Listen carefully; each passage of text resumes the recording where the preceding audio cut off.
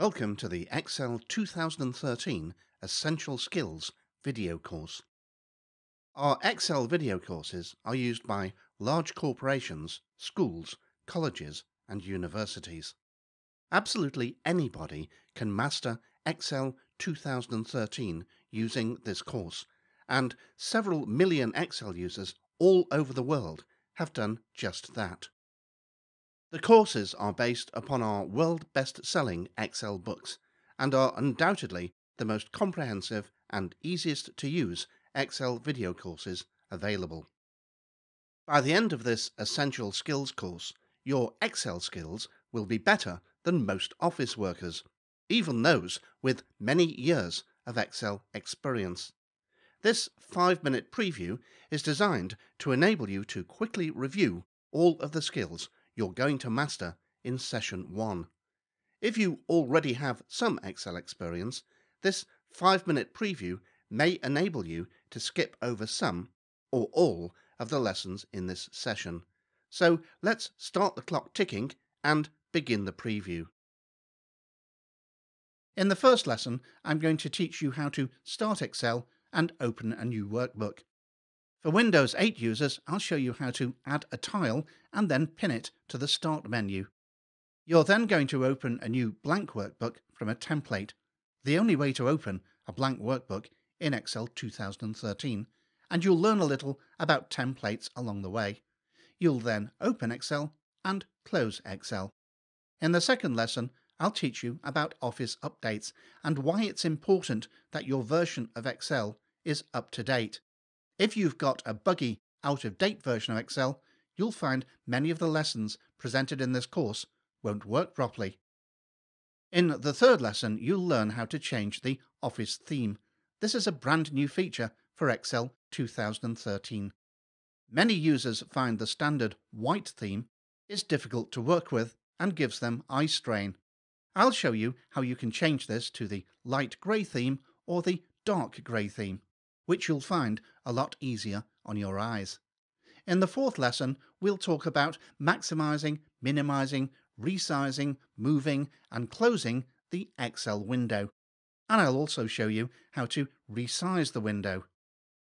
In the fifth lesson, I'll walk you through the process of downloading the extensive sample file set you'll need to work through this course. And I'll show you how to very quickly navigate through a workbook.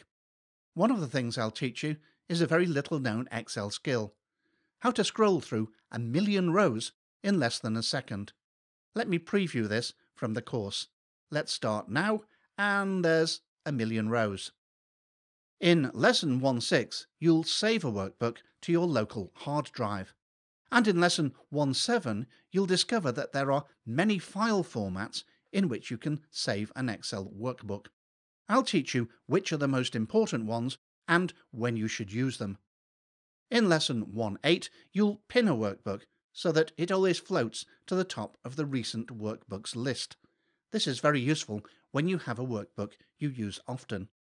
I'll also show you how to implement a logical system for organizing your files, so you'll never lose a workbook in the future.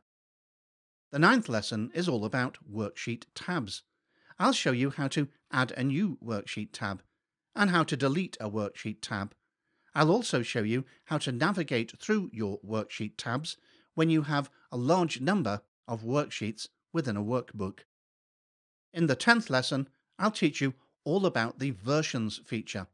I'll show you how to set it up so that Excel is constantly saving backup files automatically in the background and then you'll never lose a workbook ever again if there's a power cut or simply if you forget to save a file.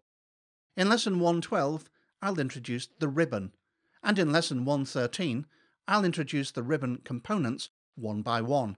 Components such as the command group, the drop down list, the rich menu, the gallery, and the dialog launcher the key to accessing many of Excel's advanced features. The 14th lesson introduces the Quick Access toolbar, and you can see the default toolbar only has four options. But by the end of lesson 14, you'll construct a feature-rich Quick Access toolbar. That will greatly improve your efficiency when working with Excel. Lesson 15 introduces the Mini Toolbar, a new way to quickly format text. Also, Key Tips, a way of quickly finding keyboard shortcuts. In Lesson 116, I'll introduce views.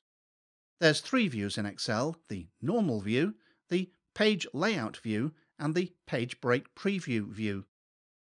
Each view is designed to make it easy to complete certain tasks.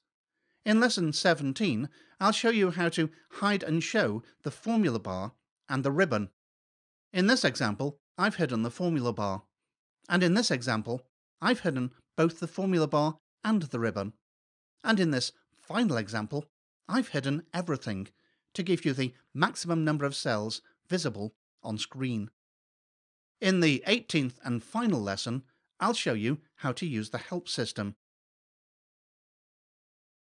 And at the end of session 1, as at the end of every session, there's an exercise to complete to confirm your understanding of the skills presented. Well, you've now listened to the introduction to session 1 and you're ready to begin the Excel 2013 Essential Skills video course.